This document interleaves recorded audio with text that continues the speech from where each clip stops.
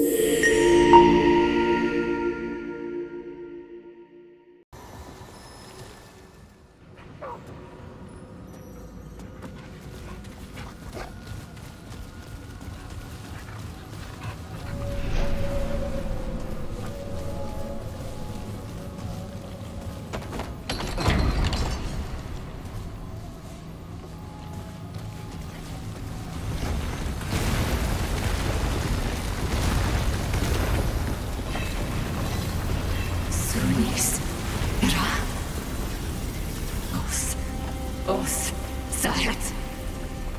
So. Nas auf. Nas Bandul. S.O.R.A. Sau.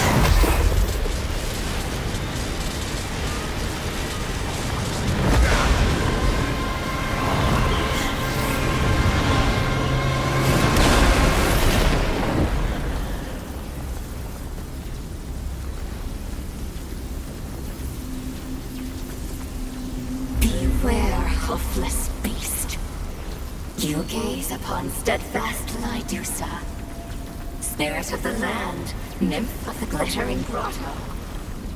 When the ground beneath you shakes and quakes and tosses you fro, when boulders tumble and crush from above, when the deep dark caves twist and lead you astray, that's Lydusa's wrath. Now speak, before I petrify your flesh to never-moving stone. Why do you trespass here? The stone flesh you feel within, turning your inside cold and still. That's my curse, the touch of Lydusa. So you will answer my questions and do as I say. Tell me why a wicked beast intrudes upon this secret place. Exploration is thin-veiled shelter for intrusion. You wish to steal from me, like all the other wicked beasts. But beasts will take anything from Lydusa, not anymore. For what's most precious to me has already been taken. The wicked beasts, the hooved ones, they stole Lydusa's precious thing. Without it, I can't tell my singing stones to cease their song of wrath. Yes, singing stones belong to Lydusa. Once they sang only sweetly. It was my magic that first sung them to life. A song to make them twirl and dance like wind-caught sand. But the wicked beasts twisted my sweet song to screams. I screamed and screamed. Now, poor Lydusa has lost something precious. The beasts stole it and locked it away. I can't sing without it. You, hoofless beast, will find my precious thing and return it to me. Only then will I free you from Lydusa's stone touch curse. I...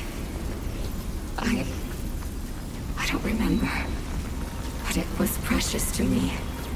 And it was sundered. Stolen. Without it, I am split. I am not me. I am not Lydusa. When you find it, Beast, you will know that it's mine. That it is precious. Now go, before you become petrified and useless. Ask.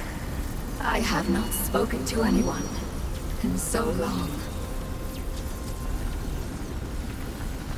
What happened to them? What happened to them? Ask their corpse dust what happened to them.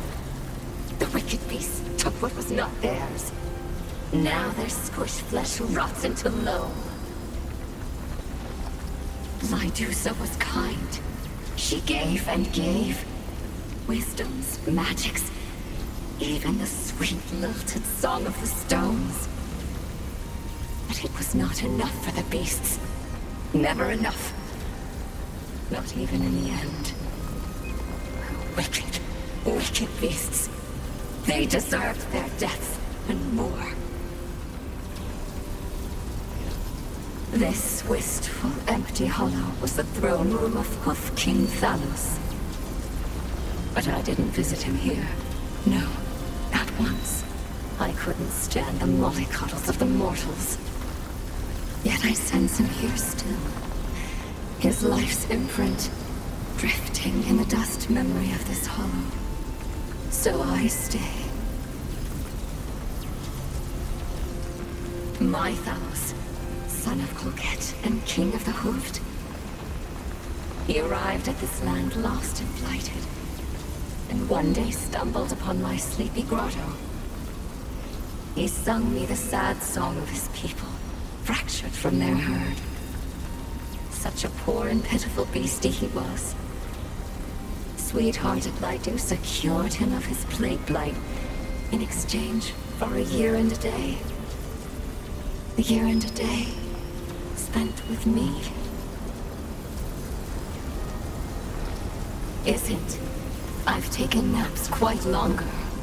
How fleeting mortals are. Thalos and I spent each day together. I taught him the Song of the Stones. And we sang and danced atop the cliff tops. From dawn till dusk.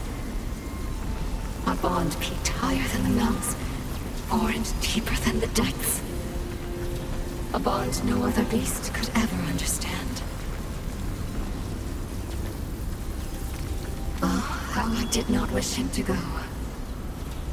He was a hoof king, and his people were his heart's grotto. He returned to them, and as a final gift, I taught him the cure touch for his people's blight. He built me a temple within his golden city, and he would visit me again and again, for I would not allow his life song to fade. But then, he was taken from sweet Lydusa. Taken. By the wicked beasts terrible, wicked beasts. I will speak of them no more.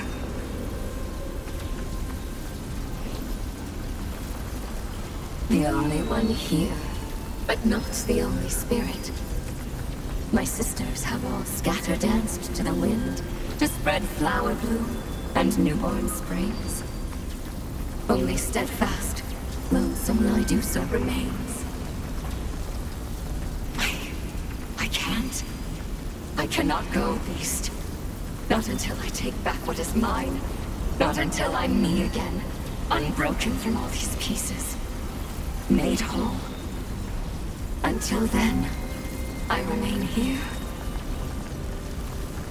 So that is the dreadful stench drenched upon you. Hoofed ones, here.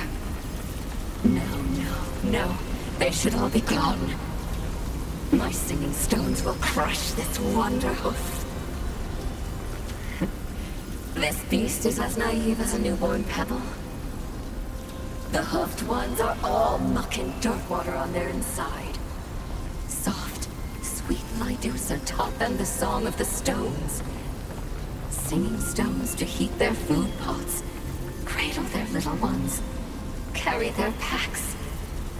Yet still they took Still they stole. Still they hurt. I too trusted them once. I thought them harmless.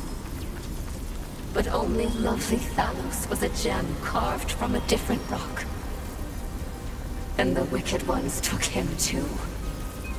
This Wanderhoof had dare not intrude upon Lydusa's secret place. Or my singing stones will shred him through. No more. No more. So long, beast. I won't lift my curse touch until you find my precious thing.